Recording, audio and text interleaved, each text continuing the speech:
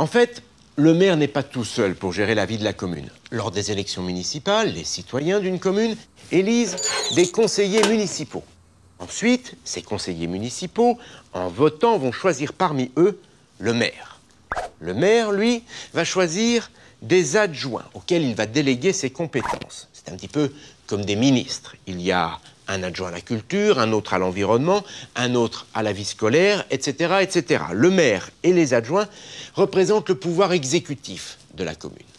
Ensuite, tous les projets sont discutés lors du conseil municipal, où l'on retrouve le maire, bien entendu, ses adjoints et les autres conseillers municipaux, dont ceux de l'opposition. Le conseil municipal, c'est un petit peu le parlement de la commune. On y vote des décisions, des délibérations, comme on dit dans le jargon. Enfin, pour faire appliquer ces décisions, eh il y a des services techniques avec des employés municipaux. Ce sont des fonctionnaires.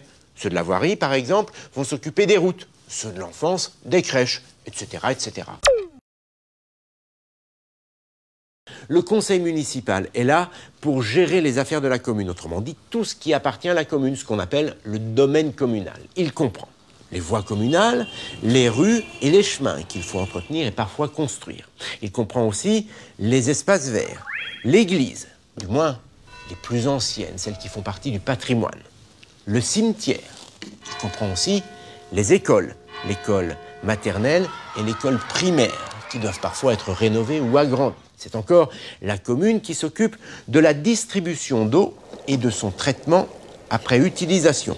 Elle peut d'ailleurs parfois s'associer avec d'autres communes ou encore charger une entreprise privée de s'en occuper. Même chose pour le traitement des déchets.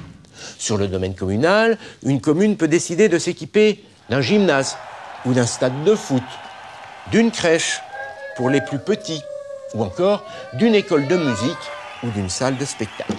Elle peut aussi décider d'organiser un festival de théâtre ou par exemple de construire une ligne de métro. Mais tout ça doit impérativement être approuvé par le conseil municipal. Les recettes d'une commune proviennent essentiellement des impôts locaux qui permettent non seulement de financer les investissements de la commune, mais également de payer les employés municipaux qui assurent les services rendus par la commune.